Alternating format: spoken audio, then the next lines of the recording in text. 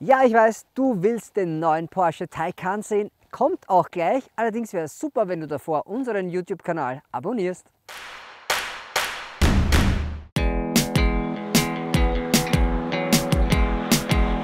Wenn bei Porsche eine neue Ära anbricht, dann ist das keine sogenannte Kleinigkeit, sondern ein Umbruch, der das Fundament von Porsche nachhaltig erschüttern oder auch verstärken kann. So schaut jetzt angeblich die Zukunft aus, also auch die Zukunft von Porsche. Und dass der Porsche Taycan vorne ein Porsche-Logo drauf hat, macht ihm die Aufgabe definitiv nicht leichter. Meine Erwartungen sind super hoch und ob er diese auch erfüllt, ich würde sagen, wir schauen uns das gemeinsam an, ob er den Job auch standesgemäß erledigt. Doch was bedeutet standesgemäß bei einem Porsche? Meiner Meinung nach fängt standesgemäß schon mal bei der Optik an.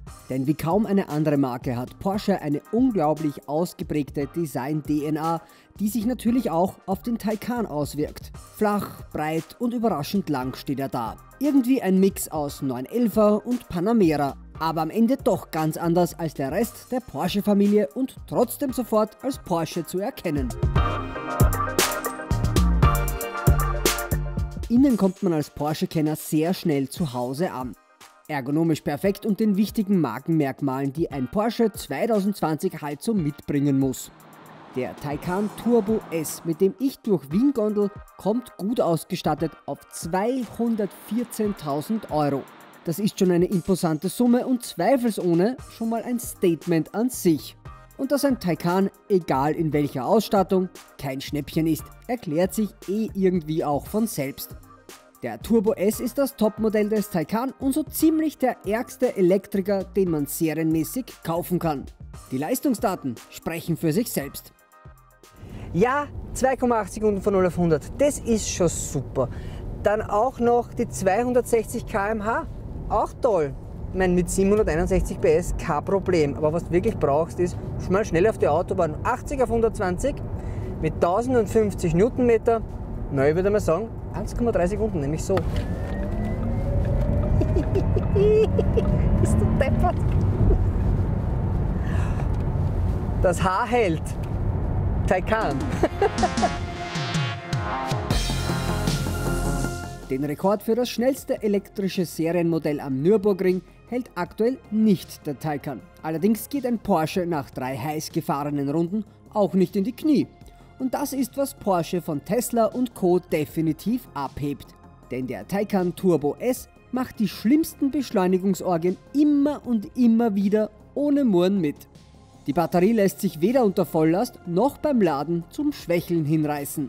Der Taycan packt eine Ladeleistung von bis zu 270 Kilowatt. Nun, 270 Kilowatt sind in Österreich zwar noch nicht flächendeckend, doch der Taycan nimmt auch gerne 140 Kilowatt und zwar flott. Wie mein Kollege Andy festgestellt hat, ist Geschwindigkeit ohnehin eine Grundtugend des Taycan.